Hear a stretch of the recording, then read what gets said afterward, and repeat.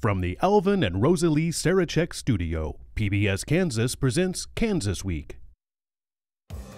Kansans weighing in on the presidential race already with their pocketbooks. What does that tell us about their voting plans? Plus, one PAC to unite them all. The governor wants to bring moderate Republicans and Democrats into one happy family. Sort of. And the battle over abortion regulations heads back to the courtroom. What's the argument about this time? That's what we're talking about right now on Kansas Week.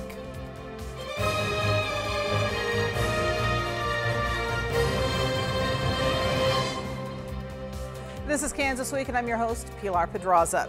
Is the Women's Right to Know Act forcing doctors to spread inaccurate medical information? That's the contention at the core of the latest lawsuit over abortion restrictions in Kansas, filed just this last June. Well, both parties laid out their arguments in the courtroom, but the judge decided that he needs more time to make a final decision. Now, abortion providers requested the temporary injunction of the Women's Right to Know Act amid an ongoing legal battle. The act, established in 1997, includes time restrictions before getting an abortion. One of the restrictions says that a doctor can't provide an abortion until 24 hours after providing state mandated information. The latest amendment to the act says that that information includes telling patients a medication abortion can be reversed. Providers argue it's not based on science science, but Republican state officials believe it's accurate. A woman isn't able to functionally exercise her decision one way or the other.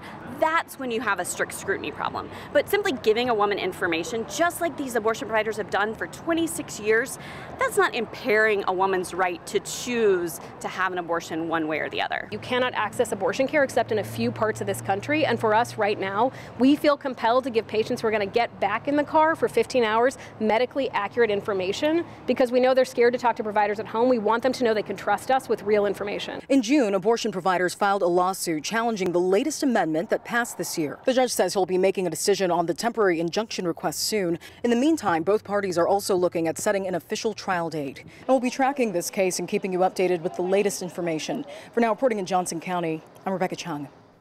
Here to take up this and other questions from the last week, we've got Trace Saltzbrenner from the Wichita Beacon, State Representative Jason Probst, a Hutchinson Democrat, and State Representative Barb Wasinger joining us by Zoom, a Hays Republican. Thank you all so much. And Barb, since we got you up, I'm going to start with you. I, I don't think this lawsuit is a surprise to anyone, really. No, but I think uh, what they're basically arguing against is challenging the provision that protects women from coercion. It also is interesting that they want to make sure that they get everyone from out of state because it's if let's be honest, abortion is a high dollar, high profit business. So I find it very um, disingenuous that they're arguing this, and I think it hurts women. And it's if you take the first pill for the medical abortion, there is proof that you if you don't take the second one you have a chance of, of going back and having the baby. And it's in and it's in medical records. So I, i'm just not so sure that they're being as honest as they they want to be. What about thoughts here at the desk? Uh, any surprises jason? No surprises. Um, you know, I remember the first time that the abortion reversal legislation came to the House, uh, there was an effort to also include language that said this procedure to reverse an abortion is not accepted or acknowledged as valid medical practice by any uh, established medical organization, not taking it away, not changing the law, just providing additional information, and that was rejected. I believe that a lot of the conversation around abortion is disingenuous. I don't believe that abortion itself is a, as, as high dollar of a industry as the politics of abortion, which funnels tons of money into politics every single year. I think if we were actually talking about how to reduce abortion, we'd be talking about how to increase contraception, and we would stop pretending that men don't have a role in pregnancies. And I mm-hmm. know, Trace, is we talk about this, you and I have been covering the politics around a lot of this, and I don't think really as Jason said, any surprise that there's been another lawsuit? We all saw this coming after last summer's vote. And with the increase in the out-of-state abortions because of what because of what happened with Roe v. Wade and what's going on in other states around us. Yeah, you've seen a lot of the states around us go and like have trigger laws come into effect as soon as Roe v. Wade was overturned. You've had people um, well, states come in and create new laws as it goes. Kansas was able to have that historic vote, lots of turnout that was able to keep abortion access within the state, which does make it to where a lot of people from out of state come here, they're seeking abortion care. Um, and, you know, something I was looking back at that legislative session too, I believe they also said that sometimes the reversal after the pill can be medically dangerous. Mm-hmm. That is something that wasn't included in the final update. So um, there's, there's a lot that's going into it, and I'm not surprised that out of state support has come from it because so many people are coming here, even into Wichita, because we have, I think, two different centers that see a lot of people looking for abortion care. So that doesn't surprise me at all. Yeah.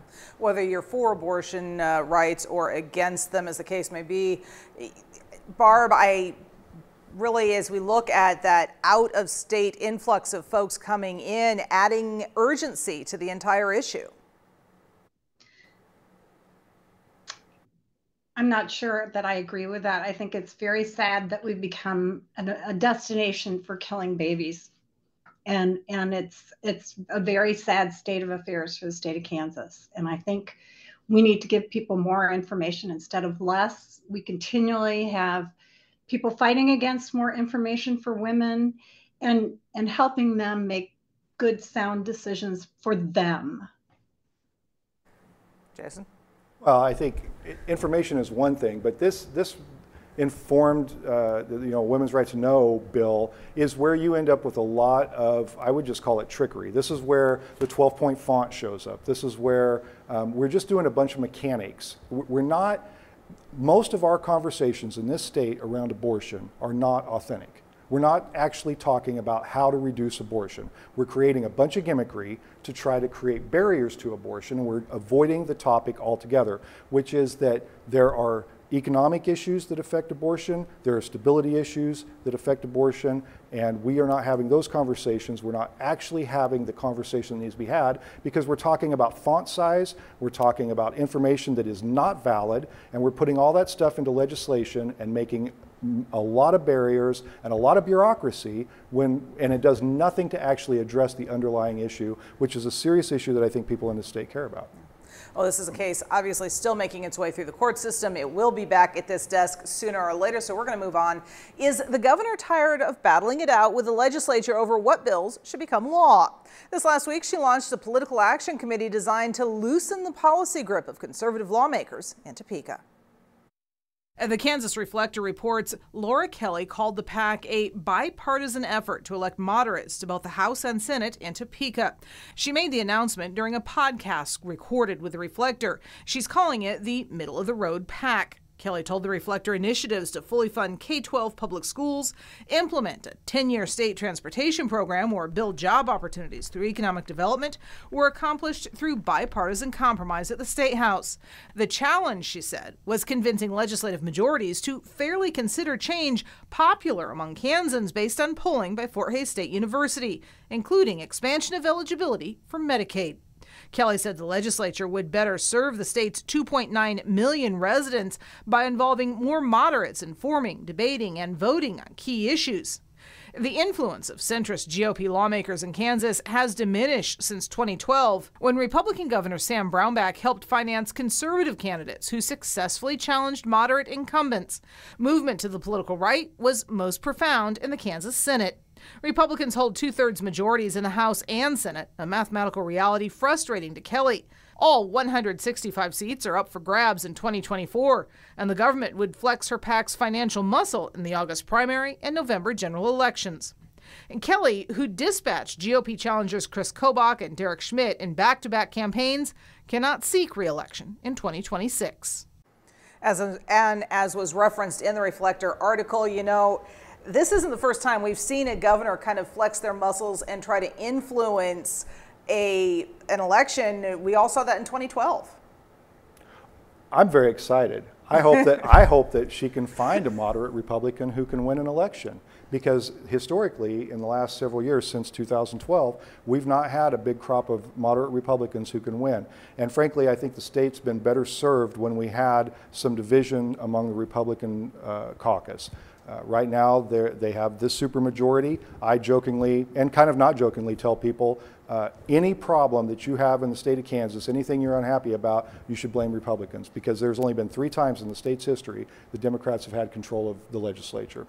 So Republicans have a monolithic control of this governing body. This is where bills come from, this is where tax policy comes from, and conservative Republicans have a stranglehold on it. I don't know that she'll find a moderate Republican who can win an election, but I'm sure encouraged by it and hopeful. Barb, what do you think? Is there a moderate Republican out there uh, who could win an election against a conservative right now in Kansas? I, I have no way of making that statement, but I can tell you that it is every governor that's up against uh, the inability to re- run for office starts a PAC. And Brownback did it, Sebelius did it, Laura Kelly's doing it. It's it's not unusual, and and you throw money at what you think will work best, and and that's I, I'm I'm concerned about middle of the road people because what you, happens when you walk down the middle of the road, you just get hit by a car. You know, sitting on the fence does not help Kansas. We need people that are decisive and people that can um, continue to put Kansas in their best interests. So, colleague is is not happy with that because he's not in the majority. But if if it was flipped the other way, I think um, he would think it was fine. No it's doubt. If it were flipped the other way, I agree with Barb. If it were flipped the other way, she would think it was fine, no doubt. As we look specifically at the Senate, because that's really kind of where a lot of the sticking points have been, one vote comes to mind this last session. It was a veto override that failed by one vote because of a moderate Republican. And from everything I've heard, she's being targeted as well. So, you know, this maybe provides her some backup support. Hey, I mean, when I talk to people here locally, especially involved in local politics, I get a lot of people saying that they're tired of how politicized, divergent, like completely on opposite sides of the road people are over at the State House, and they want to see some some cooperation and support when it comes to local services. You know, we have a lot of local leaders here within Wichita who've been able to kind of cross that party line a little bit, been able to work together for a few different things. Um, the homelessness task force is the one that comes to mind as you know someone who reports a lot on homelessness here within Wichita. That has bipartisan support. It has two people on opposite sides of the party working together and they have both expressed that like there's frustration when they want support. It's not going to come from the state house because it is so po- politicized, so divergent right now over there on that side of things. No. Well, and Barb, uh, talking about the politicization, uh, we talk about the kind of the controversial issues from the state house here a lot, but we also talk about the fact that uh, the majority of the time, the different parties all vote together. Oh, majority of the time in the legislature, and I think Jason would agree with me, majority of questions that come before us are nonpartisan. It's it's just more of the hot ticket items that we disagree on. So saying that we haven't worked by as bipartisans, we have. Um, there are just some majority opinions that we disagree on. So I want to assure Kansans that we are getting along. And I actually, I, I actually really like my colleague and uh, enjoy hearing from him. Even though we have completely different ideas about things, we do both have families and we both know that we care about uh, each other as people. And, and so when I hear people say it's, it's super partisan and politicized, I think that that's an unfair statement. All right. Anything to add before we move on? No, I think, I mean, Barb's right. We, on an individual level, we do get along. A lot of us get along in the State House, and we do, uh, if, if we recognize people, I think this is actually something we could use more of in politics, is to acknowledge our humanity, that we are people at the core of this. We have different ideas. Um, but I think there is a real concern when you have some sort of groupthink that takes over and those turn into policy decisions and there's not room for dissenting ideas or opposition ideas because I think you get your best ideas when people are uh, focused on solving problems and they're open-minded and they have their, their hearts and their minds open to new ideas. All right. Well, from the State House to the White House, the Wichita Eagle this week reporting more conservative Kansans are making DeSantis their choice. The Wichita Eagle reports Ron DeSantis held high dollar fundraising luncheons in Wichita and Kansas City this week as he tries to close the financial and electoral gap between himself and former President Donald Trump.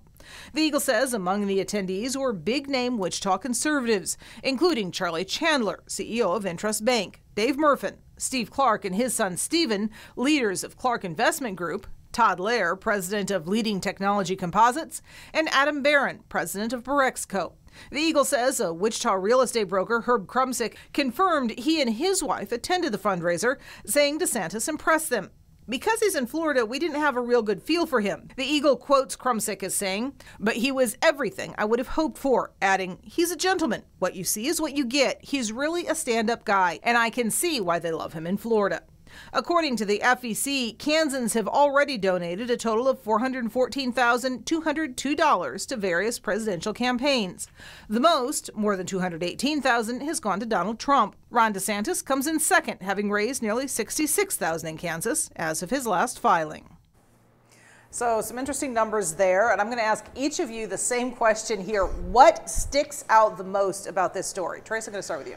Well, it's going to be bringing it back to the mayoral election we have here in Wichita. Uh, Stephen Clark, that is the partner, uh, the, boyfriend of one of our mayoral candidates, um, Lily Wu, who is, is, now one of our last two candidates. She actually got the most votes in our primary. Um, so looking at that, you know, that connection there, we also saw that Lily Wu had fundraising from the Americans for Prosperity, which is a uh, Koch foundation. So uh, mostly what I'm looking at is where are these ties, where are they going, what does that play into when her policies that she's talking about, and we see a lot of chatter about that connection that she has to Stephen Clark, real estate development, and where that might be going. But that's mostly what stands out to me when I read this story. Very Wichita-centric response. Jason, wait, what stands out most to you? What stands out to me is that it's no surprise that the wealthiest people in this area support the corporate uh, version of Trump. Uh, the question will be whether the populace, the populist voters that voted for Trump the last two elections, will uh, vote for Diet Trump in DeSantis, and I don't think that's going to happen. All right. Barb, what about you? What stood out the most for you out of uh, that story? I have no idea how it's going to end up. I know that a lot of people like Trump and a lot of people like DeSantis. So, just like with the um, uh, Democratic decisions coming up for the governor's mansion, uh, you're going to have people on both sides. So I know that the biggest thing that Ron DeSantis has had going for him is how he handled things during COVID and, and opened things up much faster.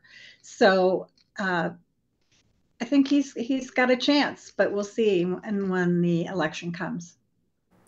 I know one thing that uh, a lot of folks think about here when they think about all of these is that, okay, we've got a lot of numbers, but numbers don't always, as you kind of hinted, Jason, translate into votes. And we actually are having a vote this year, sort of. It's a non binding vote, but we are having a presidential preference uh, primary this year or next year. Yeah, well, this next major presidential election, let me be clear. Well, it's going to be very interesting to watch. Like you said, you know, support doesn't always equal dollars. We also have, you know, indictments coming down for Donald Trump. We don't know how that's going to affect later on as it continues. Mm-hmm. We're seeing a bunch of support for him right now, especially in this area amongst, you know, Republicans in Wichita. And I'm really interested to see where does that shift go? Does it go to DeSantis? Does some other third person pop up that's going to get that vote? And you know that upcoming election may give us a little taste of where that's going to go. And uh, I'll be watching it closely just because it's very interesting right now where everything may play out. As will I. the city of Lawrence is dropping the bag, plastic bags that is, and ordering everyone else in town to follow suit. The Lawrence City Commission this week decided to begin banning single use plastic bags on March 1st of next year and to encourage consumers to rely on cloth or other reusable bags, saying the one and done sacks pollute the environment and are tossed by the millions into landfills. The 3 to 2 decision Tuesday by the Commission would apply the regulation to owners and operators of businesses providing customers with disposable plastic bags to carry merchandise, food, and beverages, among other goods. Ordinance number 9996 included exemptions for plastic bags designed to prevent food contamination or to shield from the weather items such as clothing or newspapers. The city's definition of reusable bag, whether made of cloth, fiber, plastic, or other materials, required it had to be designed for repeated application. If based on plastics, an acceptable reusable bag for commercial purposes under this ordinance must contain at least 40% recycled content and measure at least 4 mils in thickness. Violators of the new ban could face fines ranging from $100 to $500 per offense, but the current city budget didn't include funding to hire an enforcement officer. This move comes after a bill blocking local governments from regulating single use plastics failed in the Kansas Senate this year. Text of the Lawrence Ordinance says residents of the city used and discarded an estimated 29 to 36 million single use disposable plastic bags annually. And Barb, I'm going to start with you on this one. Uh, the last two years in a row, we've had Republican efforts to ban what would essentially be plastic bag bans. a plastic bag ban ban?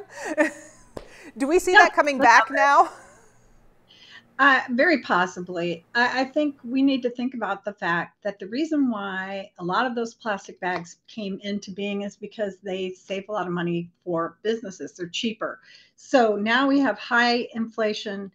We are trying to force people to handle how they run their own business. And as a as a uh, business owner myself, I'm I don't approve of that. I think we need to allow people to make the decision. And as you said, there's no enforcement of this. So, is this does this mean that people in Lawrence are going to uh, rat on their on their neighbors?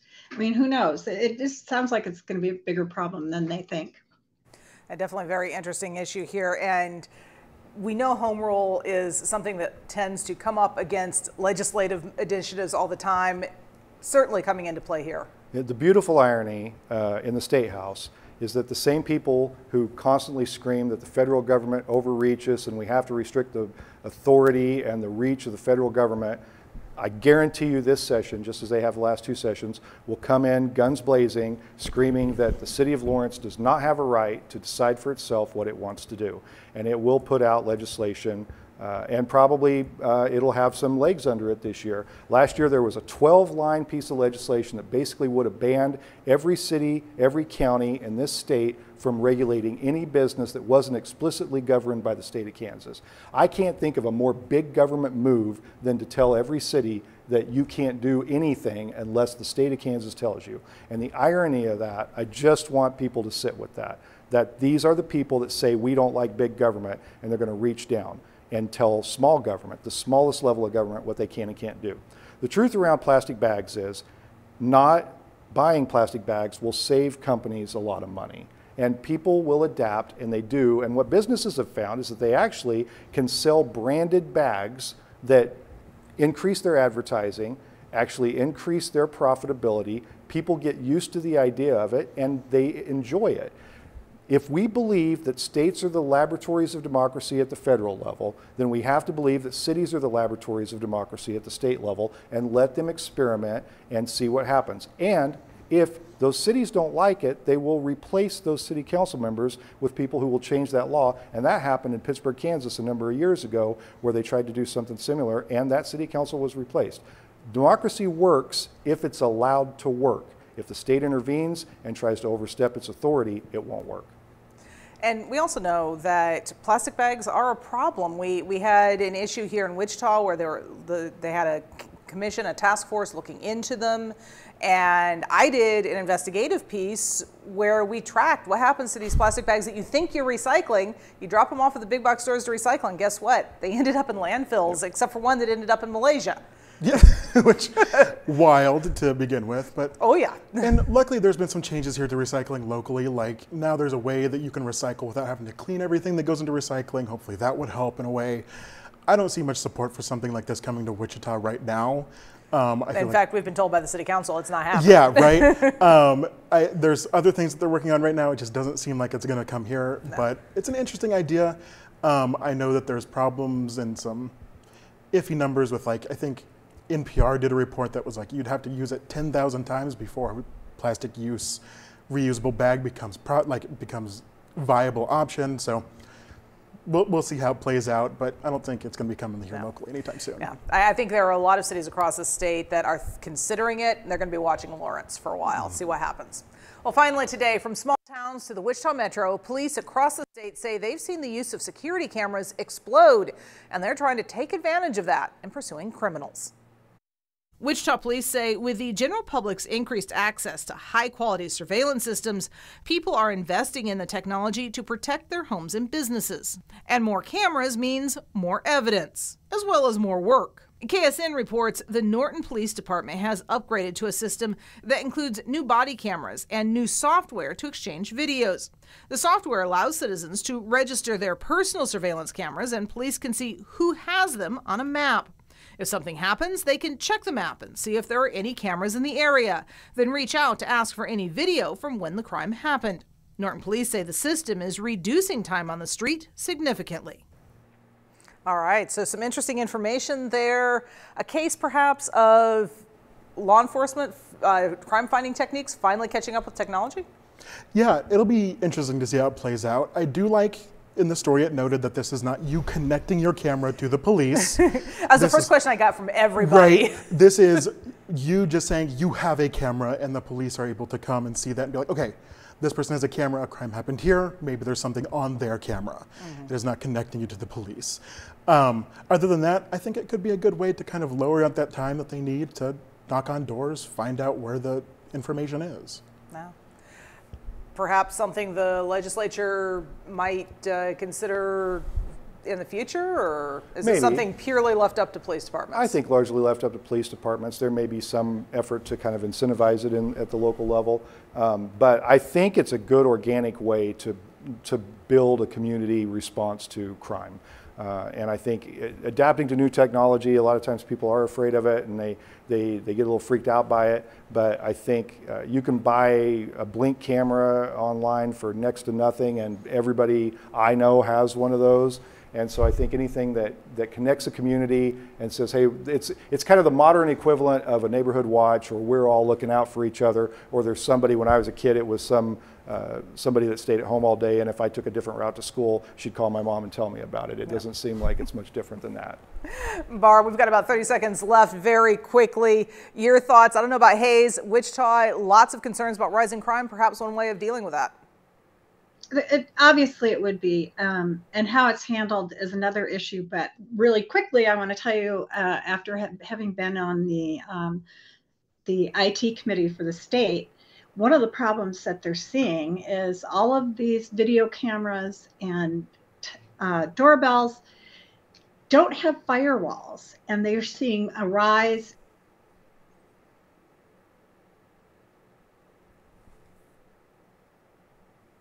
Uh, okay, I think we've lost Barb's audio and we are out of time anyway. So with that, I will thank everybody, Trace, Barb, and Jason for joining us this week. We'd also like to thank our news sponsors at KAKE News, the Wichita Eagle, and KSN News for sharing their materials with us. If you'd like to continue the conversation, just look for us on social media. For now, stay safe and have a great week.